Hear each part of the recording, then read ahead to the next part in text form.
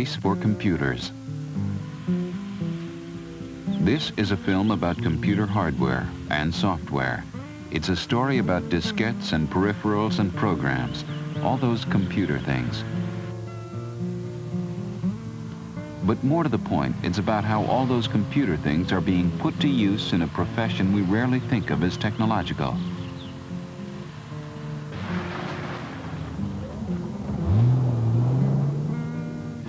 A breakthrough, if you will, the beginnings of new and better ways to do things. And sometimes breakthroughs show up in the strangest places. Meet a man who's leading the way in these new developments, John Klein. He's a lawyer. Well, let's get this unloaded, Jason. What's a three-piece suit lawyer like me doing in a place like this? Come on in and I'll show you. John Look at this Klein, later, breaking through, even on a weekend up in the Wisconsin woods. There is. Hi, girls. Hi, Suze. How you doing? Oh, just great. Take a look. You'll enjoy This is it. This machine lets me practice law just as effectively here as in my office in Chicago. Matter of fact, it lets me practice law better than I've ever been able to before, as far as I'm concerned. It's the only way to go. Klein's office is three hours away in downtown Chicago. It's up there on the 41st floor. He's a partner in the firm of Willian, Brinks, Olds, Hofer, Gilson, and Leon. They're involved in patent, trademark, and copyright matters. case has been pending for over two years, and it looks like it's reached. More than 30 lawyers, Well, with branch offices in Green Bay, Wisconsin, Indianapolis, and near Washington. But the client is very pleased about the two million. Ah, and I it think should it was a- I think it was a very good settlement. We considered seriously. Of all practices, patent is one of the most paper-intensive. Stacks of files, histories of inventions, alleged infringements, and files on similar products. They have all those files, but in a different form. Using the IBM Information System for Attorneys, ISA, and personal computers, they can get at the information within seconds. Potential defendants, uh, have you uh, been able to put those on a computer? Uh, We've got all of the text of the depositions in our database, as well as uh, all of the documents that were produced during the litigation. So we have uh, very quick access to that testimony. Probably the most significant application of the computer has been what I call its photographic memory capabilities. Once I tell the computer what's in those transcripts and documents, I can find those documents instantaneously. It's impossible for me to overestimate the impact. In fact, I, uh, I often tell people the rest of those guys are out there with bows and arrows, and I've got gunpowder. It's an integrated system, used for business applications and for the practice of law.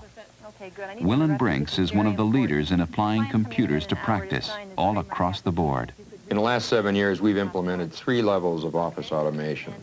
When we put the word processing equipment in, I now found that I had about 20 to 25 percent more of my time available to do lawyer work and not to proofread documents. Just finish this letter for you. The mainframe has given us the capability of being able to track our due dates for our various uh, properties and uh, court calls. And finally, the personal computer, probably of all of them, has had the most impact on me personally. Being able to use that equipment to manage the information that we have to deal with in litigation and also being able to use it to create draft documents has literally changed the way I spend my day in the office. Rita Stark knows about those changes. She runs the firm's branch near the U.S. Patent Office. Now with two-way electronic communications with Chicago, her work has changed. As you know, law firms are not like most American corporations. Consequently, the software that has been developed for use in the ordinary business is either very difficult or impossible to apply to the needs of a law firm. That is why something like the ISA package that's been developed uh, for IBM uh, is of enormous importance to us as lawyers. because it's designed specifically to suit our needs. The system also meets the needs of smaller firms. Levin, Ginsburg, and Novoselsky also in Chicago. They have eight lawyers and a state-of-the-art System 36 computer. Bob Levin comments.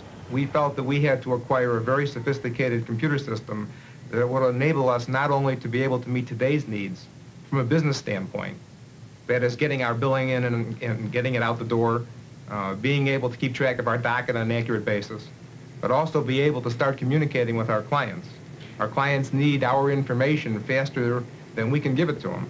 And what we're going to be trying to do in the next several years is we're going to be trying to give our clients the information and service from us that they need. We can only do that, we think, with the assistance of a computer. And? Are you working on the shareholders agreement for Bob? The firm is involved in general practice, where he entered small, efficient, division? geared to quality of service and product. Okay. They had another And system, and then looked around for something better. Has to get inserted They found it. We decided to go with IBM because we felt we had the best chance with IBM of being able to deliver excellent product and excellent service to our clients and maintain a very high level of professional conduct. Breakthroughs show up in the strangest places. Oliver Frascona, Most lawyers really like to practice law and do it quite well. But unfortunately, that's no longer enough. In order to be effective, successful lawyer today, one has to use the same computerized technology that other businesses use. Frascona's coming home from a business meeting. He's with Frascona, McLeod, and Joiner, and home is Boulder, Colorado. He started out in a basement, fresh out of college. Now the firm builds at the rate of a thousand statements a month. There are only 15 lawyers, so that means they all stay on the move. A computer becomes essential. In his fast-paced practice, time is critical.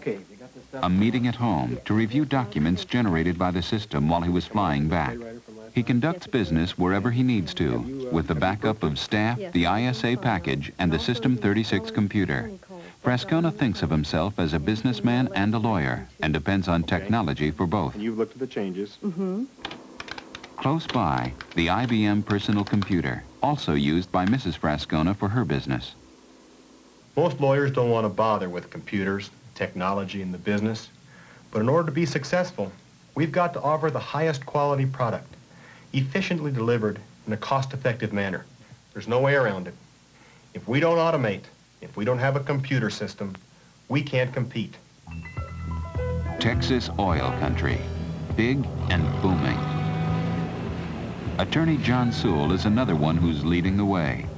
But it wasn't always easy to bring some others along with him. When we first started looking at uh, computers to assist us in automating our billing and accounting systems, I was concerned that I might run into resistance from some of the lawyers in our firm. Lawyers generally are trained to look at the past, to deal with precedent, and not to look to the future and to new developments.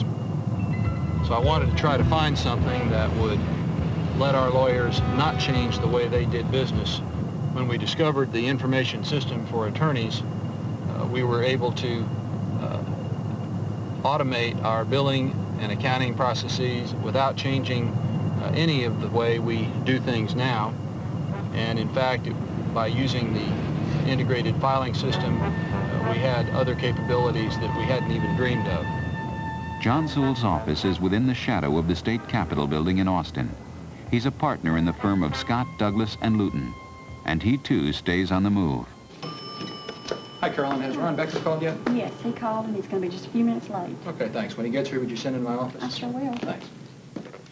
A large share of the firm's practice relates to oil and gas, a high-stakes business where delays in getting information, in making decisions, can be costly. Sewell uses the IBM information system for attorneys to manage his time as well as his information. We represent hundreds of oil and gas clients around the state, and we frequently run into a situation where a conflict may occur. Uh, through the uh, computers and systems uh, integrated filing system, we're able to identify those uh, potential conflicts very rapidly and to avoid them becoming problems. Sewell had earlier experiences with computers at another organization. He knew what questions to ask when his firm decided to automate. He knew what to expect. But with all that, he got some pleasant surprises. One of the things that we've been really pleased about when we acquired our system was our ability to recover expenses. Uh, we found, for example, we had one problem uh, where we were not billing expenses unless we incurred time in that month. The system found that for us automatically, and we were very pleased when we were able to uh, bill those expenses and, in fact, recover enough money to pay for the software package. Carol, The installation, the conversion, the implementation all went smoothly because IBM pays special attention to these things. Consider the experience of Richard Herman of Bayard, Brill and Handelman in Wilmington, Delaware. We found that the uh, programs and the representations made with regard to what the machine will do uh, has met all of our expectations. The support available uh, for questions uh, is in terms of a hotline, and we have never had to wait for an answer to a problem. It just all seems to come together very nicely. With questions about support and service behind him, Herman is now discovering ways to use the system to become a better lawyer. The library is the most valuable tool to our profession. It's also the most costly tool. And it seems that as you add lawyers, you have to add books. And with the more books in the library, the more unwieldy the library gets and the more expensive it gets. It used to be that as you added lawyers, the cost of the library geometrically increased. But that's not true anymore, not with the advent of the computer. Now, by means of supplementary computer research, we're hooked into databases all across the country. And very often this will increase the speed of research by as much as 10 times. Similarly, with the IBM ISA package, we are able to maintain complete control over document support for litigation. By maintaining abstracts of documents, they may be located almost instantaneously. This is not form over substance, this is substance itself. We are able to provide a better product to our client at a less expensive cost. The system is also used for major accounting functions and for time and billing.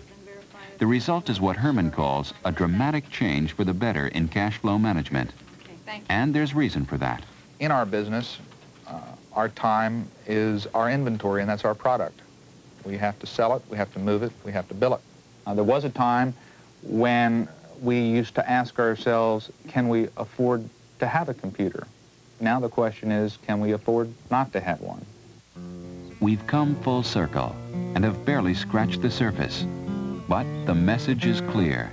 By the time this decade is out, almost all attorneys will have, in one form or another, joined the computer age. It's just a question of how long that takes. Quite simply, those that don't have the capability to use a computer are not going to be able to compete with those that do. The IBM Information System for Attorneys, along with IBM technology, is changing the way lawyers work and where they work. Not all lawyers like being in the woods, as John Klein does, but they do all seek to do a better job at lower cost and with fewer problems. And that's the case for computers. That's the breakthrough.